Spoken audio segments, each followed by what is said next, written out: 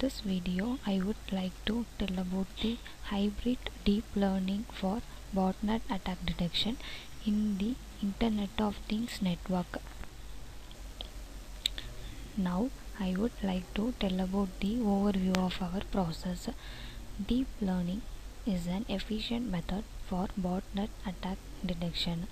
We reduce the feature dimensionality of large scale IoT network traffic data using the dimensionality reduction techniques. Uh, the main objective of our process is to detect the uh, attack detection from the input data by using the deep learning algorithms. Here we are using principal component analysis that is PCA is one of the common linear transformation method while kernel method, spectral methods and DL methods employ non-linear transformation techniques. Uh, the PCA is the uh, process for uh, reduce the dimensionality in our input dataset. Then here we are using the dataset name is botnet uh, bot IoT dataset. The input dataset was collected from the dataset repository.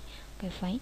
Then we have to implement the auto-encoded process. It is an unsupervised deep learning method that produces latent space representation of input data at the hidden layer.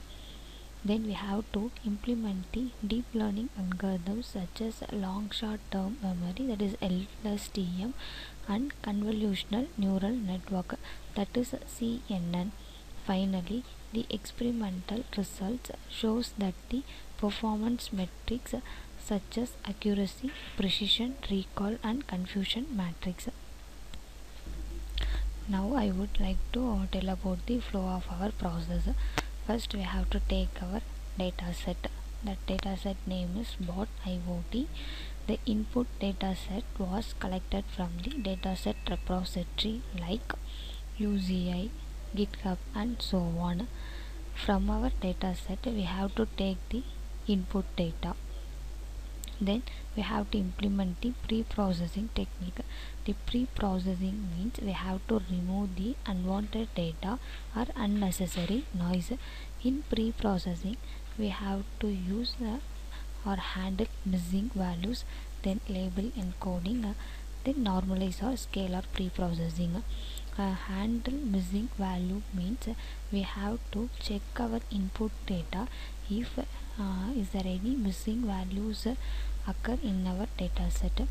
If it is any missing values are present in our data set we have to replace the missing values by zeros or non values then uh, purpose of handling missing values is to uh, avoid the wrong prediction. That's why you have to handle missing values in pre-processing step the next label encoding. We have to encode our data into labels. For example uh, the botnet contains uh, some DDoS UDP TCP and so on.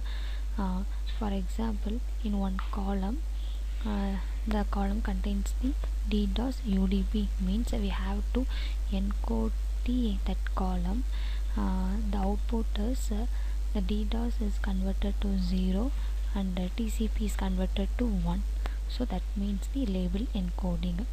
Then we have to use normalize or scalar method. Um, Python provides the pre-processing library which contains the normalize function to normalize the data. The normalize the data it takes the value between 0 and 1 the next step is dimensionality reduction that is feature extraction. To extract the features from our input data. In this dimensionality reduction we have to use a principal component analysis that is PCA uh, the purpose of this is reduce the dimensionality uh, from our pre-processed data. Then we have to implement the auto encoded the auto encoded means for compressing the raw data. That is uh, in this step uh, it has two portions. One is encoded then decoded. First one is encode the network layer then decode the network layers. Uh, after that uh, we have to implement the classification algorithm. Uh, in this algorithm we have to implement two deep learning uh, algorithms. One is convolutional neural network the other one is long short term memory. So the final results shows that some performance metrics like accuracy precision recall and confusion matrix. So this is our flow diagram. Now i would like to tell about our demo that is our output part. So this is the our output part. Just I have explained that one by one okay. Uh, in this step first thing uh, we have to implement the pre-processing steps. So we have uh, I already said in the flow diagram first we have to check missing values for each attributes. The attributes means uh, that is a column that present in our data set. Uh, here these are the column names. Each column consists uh, contains the zero missing values the zero means there is no missing values in the column in particular column. So similarly here also zero it's occurred there is no missing values in flag attribute. So this is the checking missing values. Then we have to implement this is the result for label encoding. Before label encoding means yeah this is a category then subcategory like then after label encoding means the DDoS is converted to 0 similarly HTTP is converted to 0 so this is the label encoding. Just uh, display the warnings unwanted warnings.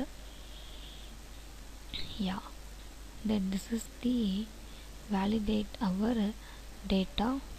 Sorry yeah this is the validation our data by using the auto encoded process.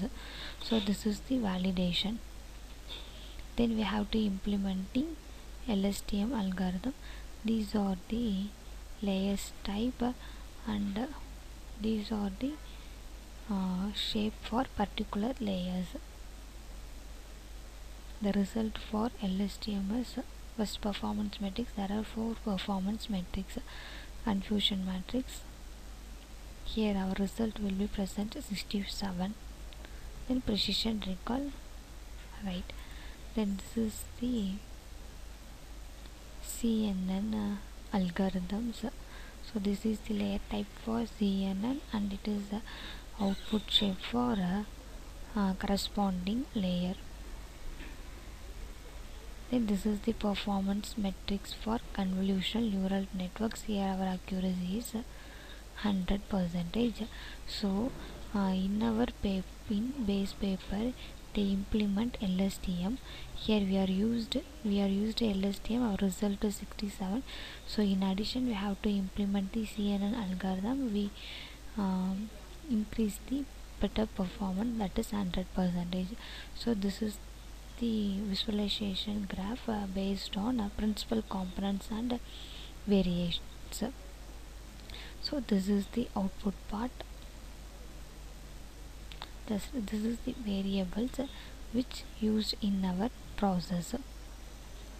Okay, this is the variable explorer.